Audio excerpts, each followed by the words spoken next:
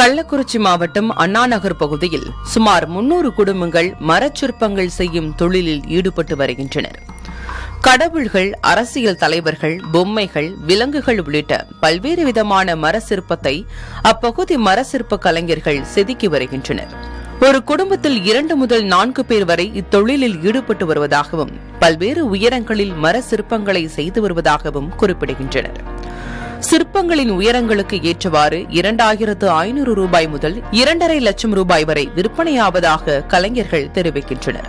சிற்பங்கள் செய்வதற்கான மரங்கள் பன்ருட்டி கும்பகோணம் தஞ்சை திருச்சி போன்ற பகுதிகளிலிருந்து வருவதாகவும் கூறுகின்றனர். மேலும் வாடிக்கையாளர்களின் விருப்பத்திற்கேற்ற மரங்களை பயன்படுத்தி சிற்பங்கள் செய்து வருகின்றனர். தற்காலத்தில் மர சிற்பம் செய்யும் தொழிலுக்கு வர இளைஞர்கள் ஆர்வம் காட்ட தயங்குவதாக கலைஞர்கள் வேதனை தெரிவிக்கின்றனர். தற்போது ஆர்டரின் பேரில் மட்டுமே சொற்ப அளவில் விற்பனை நடைபெற்று வருவதாகவும் வீடுகளில் அழகுக்காக வாங்கப்படும் மர சிற்பங்கள் குறைந்து வருவதாகவும் தெரிவிக்கின்றனர். நாங்கள் மரம் எங்கேருந்து எடுக்கிறோம்னா அதாவது ரோட்டோரமாக இருக்கும் தூங்குவாங்க மரம் சொல்லி. அது டெண்டர் விட்டு சாமில்காரங்க அறுத்து எடுத்துகிட்டு வருவாங்க. அவங்க கிட்ட இருந்து நாங்கள் வாங்கி நாங்கள் செய்வோம். பெருசாக ஆர்டர் ஒன்றும் வரதில்லை. யாராவது சொல்லுவாங்க நீ இதுக்கு முன்னாடி யாராவது வாங்கினவங்க ஆர்டர் கொடுக்குறவங்க அவங்க எடுப்பாங்க. வேலைக்காரங்க இல்லை இப்போதைக்கு. யாரும் யாருக்கும் இந்த தொழிலோட இது தெரியல. ஆர்வம் இல்லை. அடுத்த தலைமுறைக்கு எடுத்துகிட்டு போகணுன்ற ஒரு குறிக்கோள் இல்லை இங்கே. அதுதான் இங்கே இல்லை லாபம்னு சொல்ல முடியாது. அப்படியே போய்கிட்டு இருக்கு.